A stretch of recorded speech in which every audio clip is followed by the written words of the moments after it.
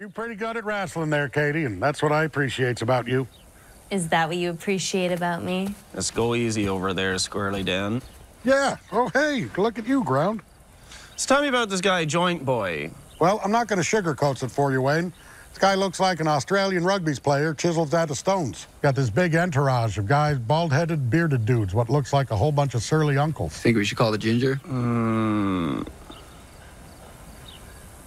No. Why not? He's tougher than hell. Yeah, but. Like you heard he fucked an ostrich, right? He what? He fucked an ostrich. Allegedly. How does a fella get caught up in that sort of business? Well, I guess his cousin had an ostrich farm when he thought it might be fun to fuck one. Allegedly. So he got hard, but somehow, when he fucked an ostrich. That's fucked. That's a felony. Suggestions? What about the ginger? Mm, What about boots? Oh, um, the, the ginger. You guys ever hear anything about that guy fucking an ostrich? No, I, I heard it was Boots who fucked the ostrich. No. The ginger fucked an ostrich. Allegedly. But see, it'd take more than one guy to fuck an ostrich. You think they were both there? Like Boots held down the ostrich? I suppose if we really wanted to get to the bottom of it, we could find someone, someone who farms ostriches, who might know how they get fucked.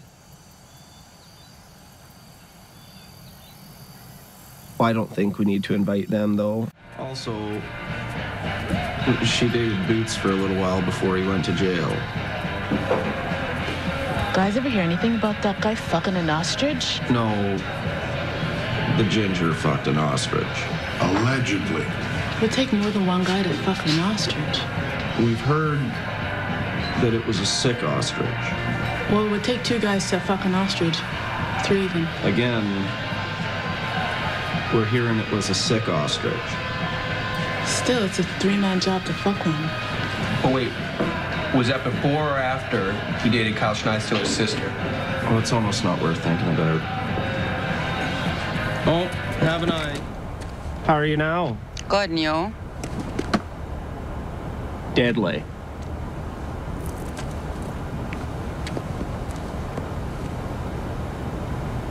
Is that? The ginger and boots. Those two guys fucked an ostrich. Just the ginger fucked an ostrich. Allegedly. Mm, it would take like two people to fuck an ostrich, three even. It was a sick ostrich. Allegedly. You are fucking ruthless bringing a couple of dudes like that here. In his defense, It's usually not the type of prick I am. If they fucked an ostrich, what else have they fucked? Just the ginger fucked an ostrich. Allegedly. I ask again, if they fucked an ostrich, what else have they fucked? It's almost not worth thinking about. I go for a scrap. And we'll need reinforcements. Joint Boy? Yeah, you can call JB. What about No.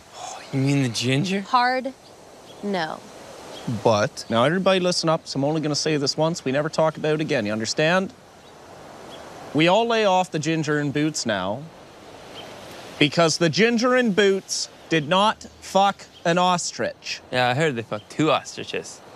Allegedly. Folks will say that it takes two people to fuck an ostrich. Three even. Folks are also saying that it was a sick ostrich. Allegedly. Now, I went on the internet and researched ostriches. Firstly, ostriches can run up to 70 miles an hour, so catching one, even a sick one, is a super tall order. Yeah, there's two of them. Secondly, when a male ostrich, which is called a cock, fights over a female ostrich, which is called a hen, they're known to kill each other by headbutting.